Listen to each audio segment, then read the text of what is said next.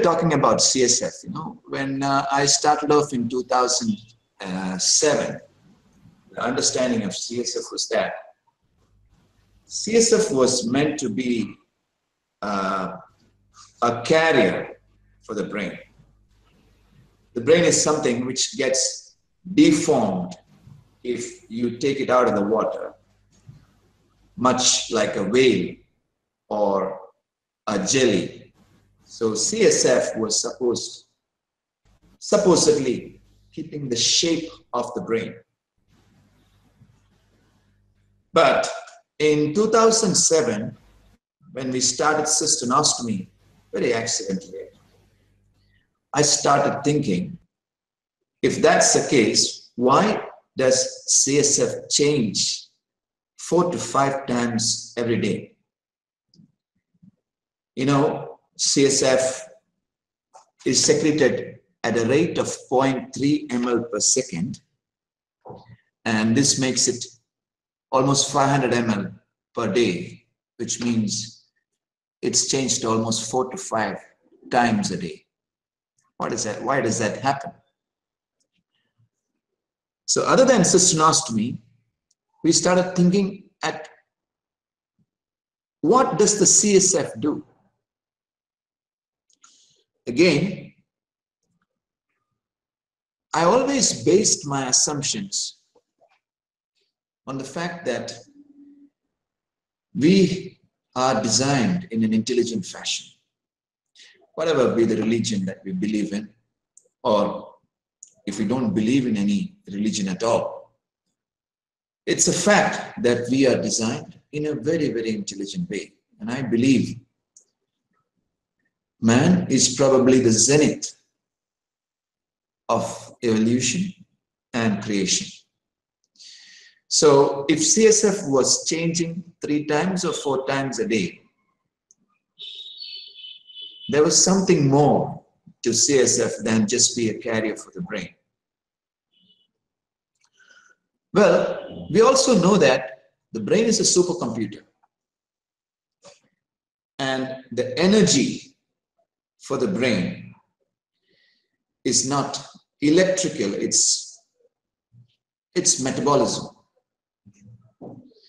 So when we have a brain which is working at such a high rate, it, it needs cleaning and cooling. So I put everything together and I thought the brain is a water cooled system and the cleaning is also done by CSF. And then that started our cleaning and cooling paper. And we again put forward a very weird hypothesis that cooling is done by the sinuses. For example, the sphenoid, the ethmoid, all those sinuses are very close to the largest collection of CSF we have. And if you see, these sinuses are lined by wet clothes, mucosa. And when you breathe, these wet clothes, they evaporate water, give up the latent heat of evaporation, become cooler, therefore cools the CSF which is adjacent to it. That CSF goes into the brain, cools the brain. A lot of implications. We found that in Alzheimer's, this cleaning and cooling doesn't take place. Degenerative diseases, this doesn't take place.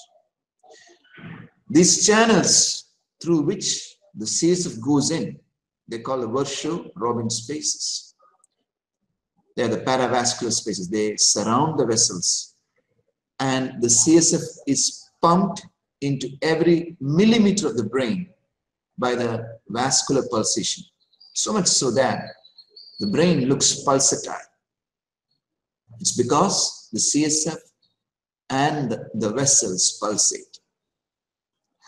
Well, this is our work on the CSF and well, so the, I would rather stop uh, my, I mean, our talk on CSF. The CSF past was when we thought the CSF was used for as just a carrier for brain. The present is cisternostomy, where we think that CSF goes to the brain and the CSF shift edema could be alleviated by opening into the cisterns and so on.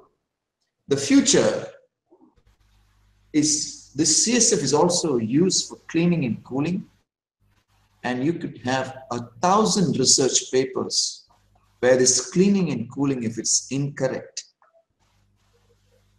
you can have many diseases and we could we could do a lot of research on this. Is the future. But you must understand that all this i based on one conclusion and that was we are, are intelligently designed. So I started thinking further in 2010 and 2011. I started thinking about who designed this? Who is the designer? And then I'm going to tell you about a few of my findings. So we, most of us I believe we live in the spinal and the sensual level of living. We live at the level of five senses. All the cultures always felt a presence. People called it God. People worshipped. People called it different names John, there is a there is some sort of a disturbance. John, can you? Would you like the students ask questions now, Doug? No, no, no, no. Can you hear me? Can you hear me? Yes, we can hear you. Yes, sir. Now, yes, so yes. it's an undisputed fact that God exists in every culture, all over the world, everywhere. From the beginning till now, it's called in different names. Religions are made, vested interests, and uh, our egos cause us to fight. We name people across religions, across the social fabric, but nonetheless, we all feel the presence of this designer. And we know this intelligent design is by one supreme being, maybe beings, or as this part of the world believes, we ourselves did this. Now let's look at something different. What's a Fibonacci sequence? I'm sure Slavin and Hira and all must be interested in this. You see, the Fibonacci sequence is one, two, three. You add two and three, you get five. You get three and five, you, you get eight. Five and eight, 13, and so on. So you divide any number by the previous number. You get this ratio, 1.618. It's called the golden ratio. Ancient artists knew this. Leonardo da Vinci knew this. When they drew faces, they used, they used this ratio. When they built buildings, they used this ratio. Ancient Vastu people in India who were the greatest architects, they used this ratio. The Egyptian pyramids used this ratio. But you must be amazed if we know that the nature used this ratio. An egg, the sunflower, holds a nautilus, a snail. The branching of trees, the branching of blood vessels, a solar system, mantras, yantras, mandalas, pyramids, everything. You see this golden ratio. So I'm going to show you this video. Mandelbrot's fascination with the ritual side of math began when he was a student.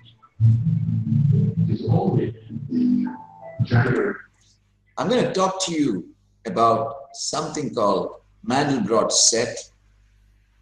Mandelbrot found out that an equation which defines infinity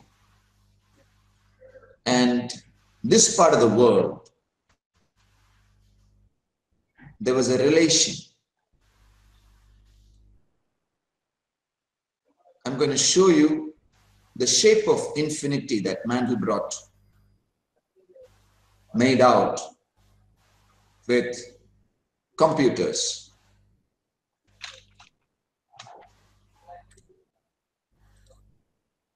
That's the shape of infinity the Mandelbrot set. It's not easy describe Mandelbrot set visually. It looks like a man, it looks like a cat, it looks like a cactus, it looks like a cockroach. Minutes you can see the shape and there's this trunk you know in ancient indian culture there's this peculiar god who is worshipped before the beginning of anything. And this god was called Ganesh. It is said that he is the son of Shiva, and Shiva had cut off his head and pasted an elephant's head instead. But you see this shape, and you see this shape. And you will be amazed to know that Ganesh actually literally translates to the Lord of mathematics. Gana, Ganatantra is mathematics. Gana means numbers. Ganesh Ish means God. So Ganesha is Isha of Gana, the Lord of mathematics. And Mandelbrot saw it in 1966 Mathematicians in this part of the world saw it 3,000, maybe 5,000 years back. Let's look at some more things.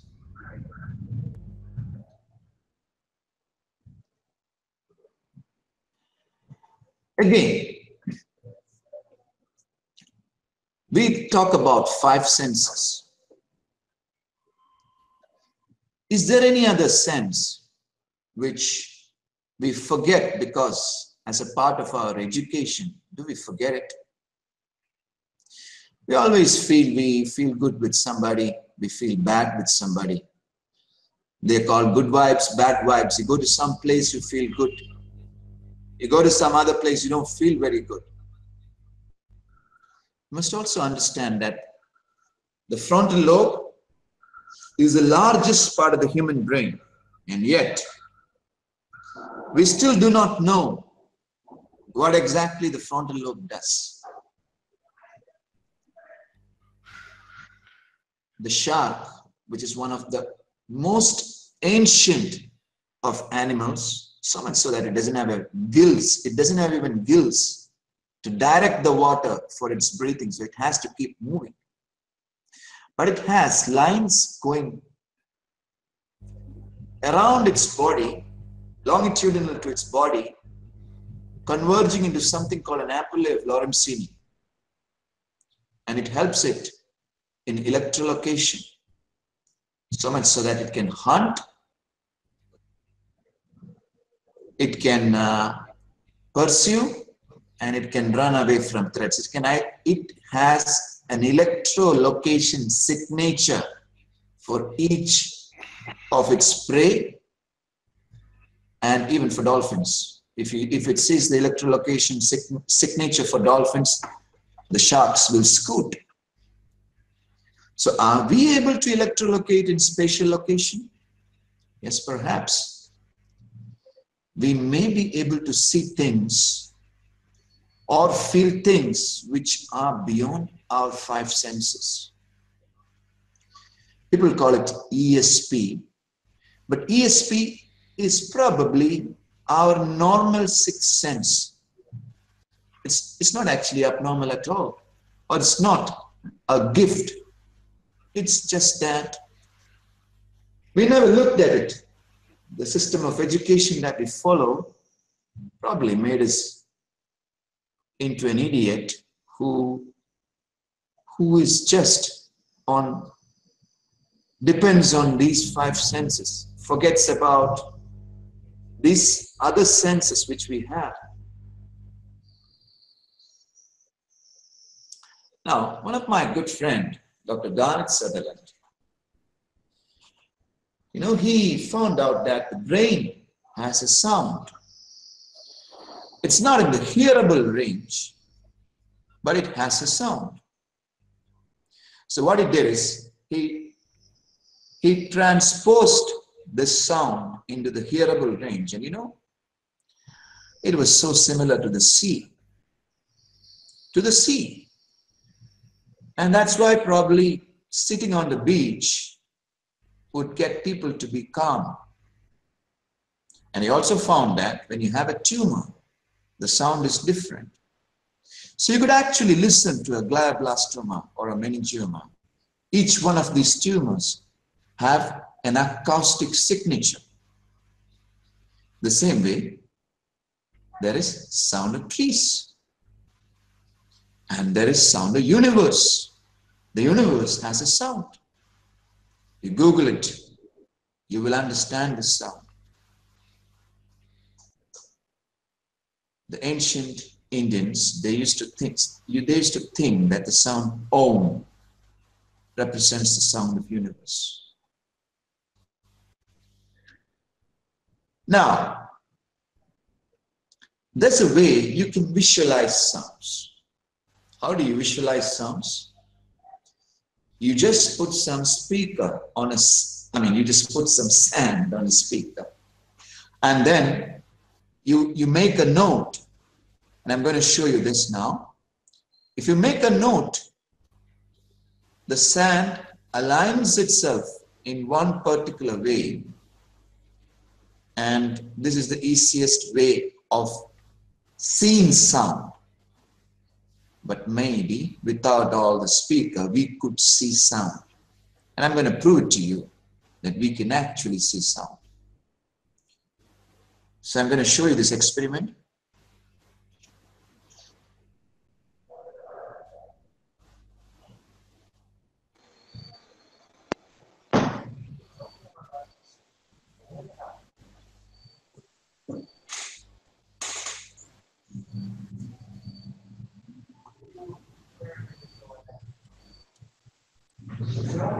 trying to be effective, psychiatric treatments. That's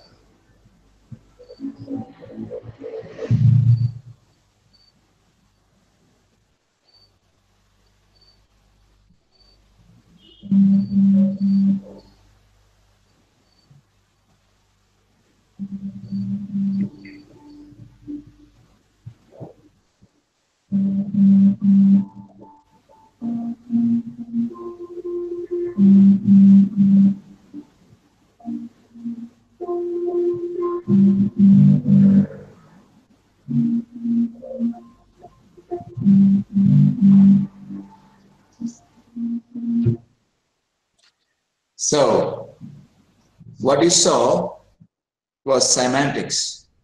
You know, this is Sri Yantra.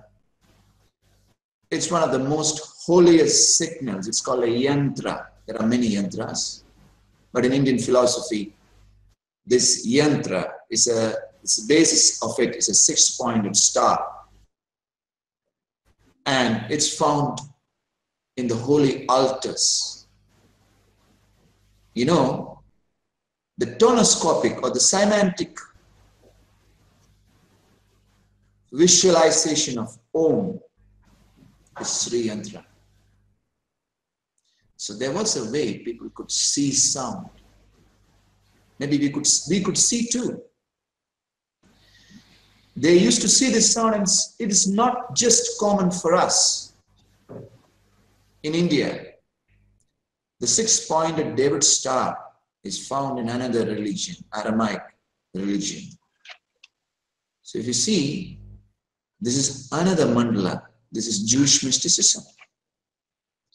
And I'm going to show you even animals could see this. This is a mandala it is like Ashoka Chakra, which is a 24 spoke wheel seen on the Indian flag. And Ashoka was a Buddhist. Ashoka Chakra was a mandala, which is like a yantra. It was probably seeing sound. So I'm going to show you this video. Unfortunately, this small Japanese pufferfish is dull almost to the point of invisibility. But to compensate, he's probably nature's greatest artist. To grab a female's attention, he creates something that almost defies belief.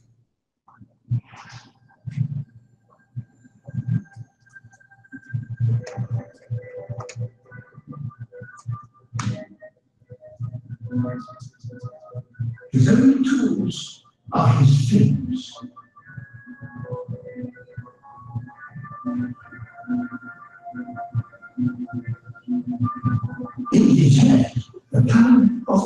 Mathematical perfection.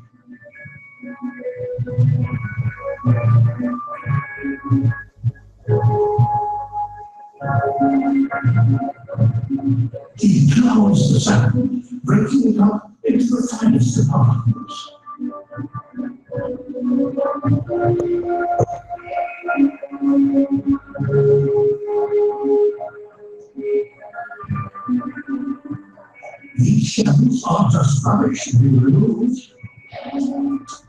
He uses them to decorate the bridges of his construction.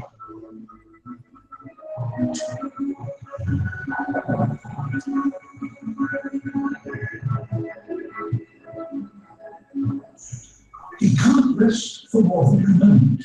He must work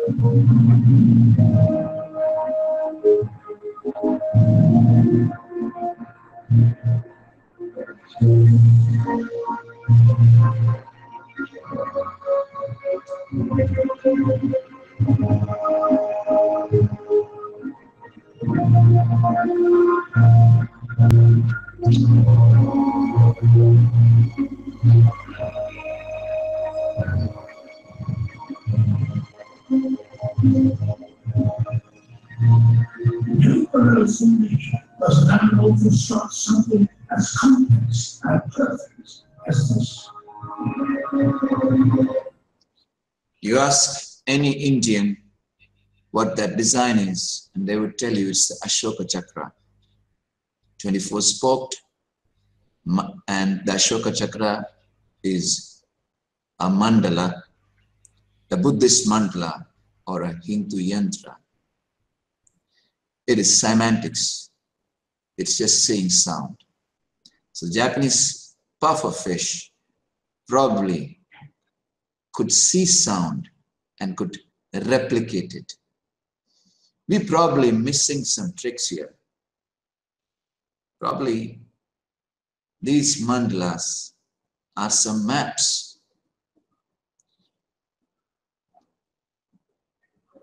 You know, one of the things which is really interested me, one of the mantras is Om Namah Shivaya.